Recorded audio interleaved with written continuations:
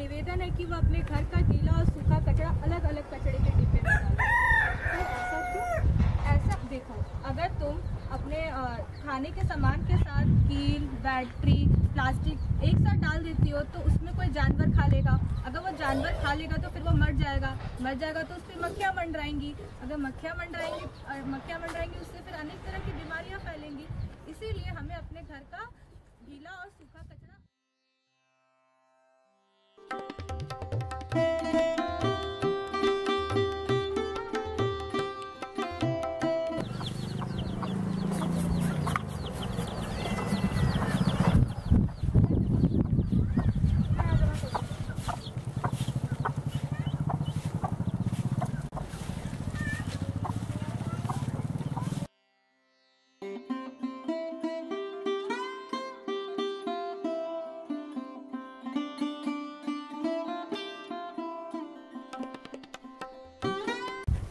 झाड़ू उठा लो पोछा।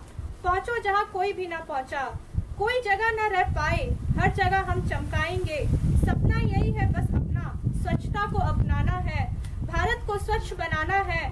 भारत को स्वस्थ बनाना है। सफ़ाई को जो रखे ध्यान, बीमारियों से बचती जान। ख्वाब न कोई अपना आगे बढ़ता, बस कमियों से, कर्मों से बनता महान।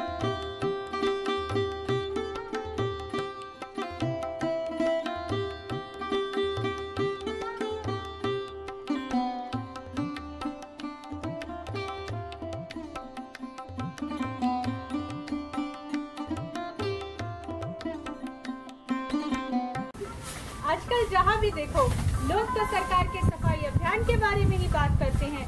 क्या ये सफ़ाई अभियान मीडिया के लिए है? नहीं। तो क्या ये न्यूज़पेपर के हेडलाइन के लिए है? नहीं। तो फिर हम ये सफ़ाई अभियान कर क्यों रहे हैं?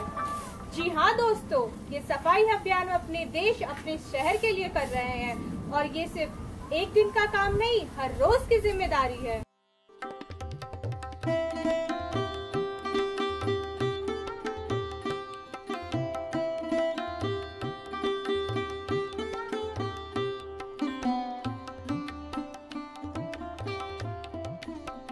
एक